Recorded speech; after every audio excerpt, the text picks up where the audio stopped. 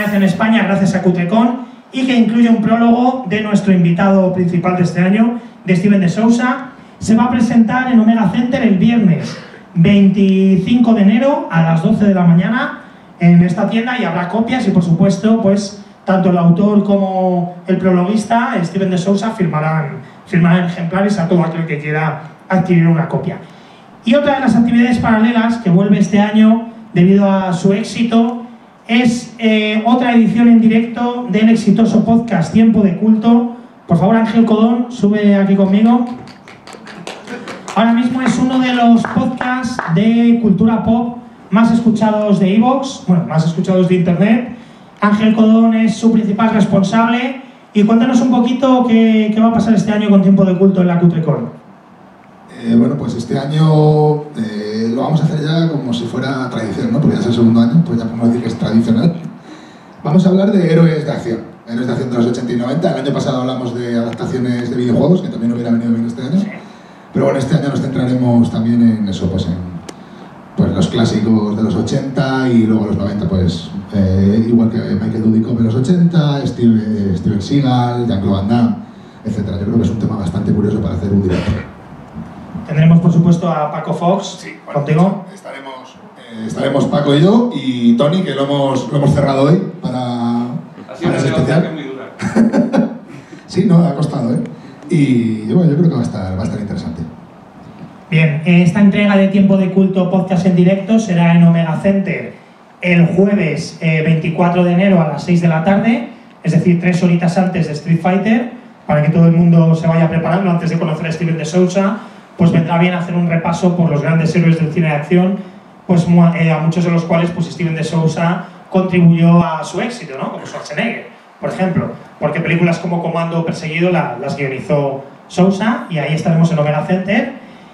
Y ya, bueno, muchísimas gracias, Ángel. Y ya para terminar, quiero dar paso a uno de los patrocinadores de esta edición. Por favor, Pepe, sube aquí conmigo. Porque este año uno de los colaboradores y patrocinadores de esta edición va a ser la exposición Generación Sci-Fi, eh, que gracias a ellos pues vamos a tener una exposición en el festival, como viene siendo en los años anteriores, relacionada con el cine de ciencia ficción. Cuéntanos un poquito qué es, qué es lo que vamos a, a tener este año exposición, Pepe. ¿Directamente? Sí, sí, cuenta. Hola, gracias a todos. No, nosotros vamos a traeros aquí eh, una serie de piezas relacionadas con el planeta de los simios. Es un poco, diríamos, eh, la antítesis de Cutrecom, ¿vale? Nosotros somos proveedores de empresas como Disney, como Warner, como Fox, ¿vale? Bueno, Fox que ya es Disney, o sea, todo es Disney. este es una pena, pero...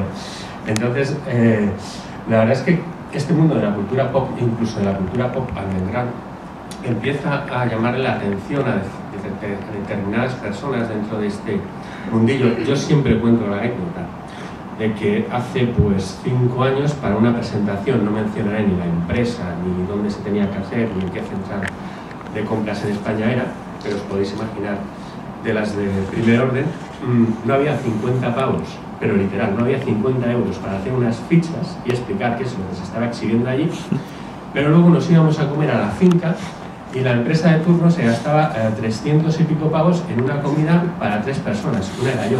España. España, sí. O sea, es- pues yo tengo una familia viviendo en Reino Unido, e incluso les puedo contar que te encuentras con megadirectivos en Estados Unidos que te van en Bermudas, bueno, como voy yo ahora, ¿vale? Y con un polo. Entonces, em, este es el primer año que colaboramos con Cutrecon, esperamos que no sea el último, sino que más bien podamos crecer eh, ambos eventos. Y lo que vamos a traer aquí directamente son piezas ah, estatuas premium format relacionadas con el planeta de los simios, todas ellas licenciadas, de Fox, etc. Y lo que no podemos traer es, por desgracia, la réplica del esqueleto de King Kong, porque la tenemos justo en, el, eh, en, el, eh, en la sala Azca de Moda Shopping. Hemos traído unos flyers para que podáis tener más o menos una visión. Y solo puedo deciros que estamos muy contentos de colaborar con toda, con toda esta gente y con todos vosotros. Así que gracias. Gracias a todos.